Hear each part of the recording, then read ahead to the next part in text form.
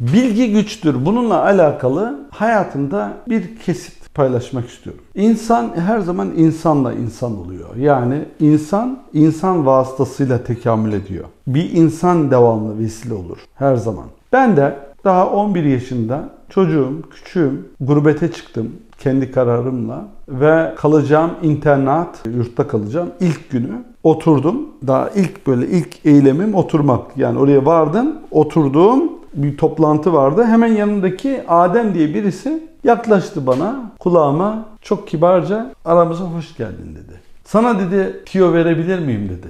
Yani önünü görebileceğin, yani ilk yapman gereken sana teknik öğretebilir miyim? Hay hay dedim ya. Bak dedi sen dedi şimdi gurbete çıktın. Buraya geldin. Burada 120 tane öğrenci var. Ve dedi sen ortaokula gideceksin bizim gibi. Liseye gideceksin sonra. Sonra üniversiteye başlayacaksın. Sana dedi ben bir yöntem göstereceğim. Yöntem şu. Okul, ders çok önemli. Ama daha önemli olan şey insan ilişkileri arkadaşlarla sosyalleşmen. Bana da aynısını söylediler. Benden 4-5 yaş büyüktü. Bana da aynısını söylediler. Ben de sana o bilgiyi vereyim dedi. Nedir dedim. Bak dedi kardeşim senin dedi ilk yapman gereken şey buradaki çocuklarla, öğrencilerle iletişime girmen. Onlarla iyi iletişim kurman. Onlarla oturup konuşman. Onlardan bir şey öğrenmen. Yani alışveriş yapman. O sana bir şey öğretecek, sen ona bir şey öğreteceksin. Ama bu sosyalleşmeyle oluyor. Ve sorumluluk alma. Yani sana bir görev verildiği zaman elini kaldır. Çünkü o ağır gelebilir nefsine belki. Çalışkan olman gerekiyor. Tembellikten seni kurtarıyor aynı zamanda. Sorumluluk aldığın için o görevi yaptığında bir şey öğreniyorsun. Elini kaldır dedi. Tamam.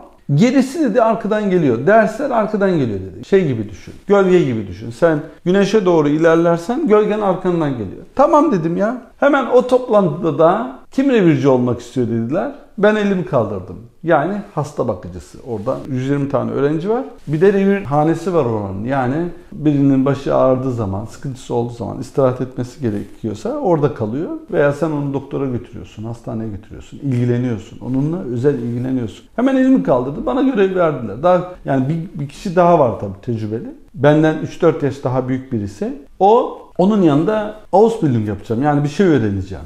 Devircilik görevini aldım. Sonra çaycılık görevi. Onu da aldım. Sonra ütü kim yapabilir? Elimi kaldırdım. Ütü yapabiliyorum. Ütü de yaparım dedim. Ve 6 sene öyle yurtta kaldım. Her şeyi öğrendim. Her şeyi, çamaşır yıkamayı, bulaşık yıkamayı, ütü yapmayı, yemek yapmayı, her çeşit yemek yaparım. Ama bu neyle oluyor? O arkadaşın o zaman bana verdiği tiyo ile oldu. Yani bilgi için kendini aç. Yani kendini geliştirmeye, kendini yetiştirmeye, kendini açman lazım. Ve bunu da insan vasıtasıyla öğrenebilirsin. Başkası sana öğretecek. Ve gerisi kolay. Dersler zaten kolay. Sen şöyle ilerlediğin zaman güneşe doğru arkadan gölge zaten gelecek. Ve gerçekten o zaman öğrendim. Bilgi güçtür.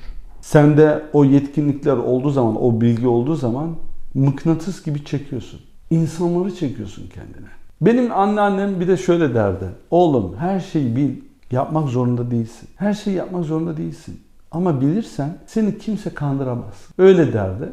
Ben de işte hayatımda bilginin ne kadar önemli olduğunu, gerçek bilginin tabii, sana lazım olmayan bilgiden bahsetmiyorum. Gerçek bilginin ne kadar güçlü olduğunu ve hayatta seni nasıl sağlam bir şekilde hedefine götürdüğünü bunu hissettim, yaşadım. Aynı zamanda rakibin olmuyor. Yani rakibin olmuyor ki. Çoğu insan belli bir belli bir çizginin üzerinde ilerliyor. Aynı kategoride, aynı bilgiye sahip. Sen bir adım önde olduğun zaman o saftan, o çizgiden çıkmış oluyorsun. Önde oluyorsun. Ve sağa sola baktığında senin rakibin yok. O yüzden aranan insan oluyorsun. Aranan insan.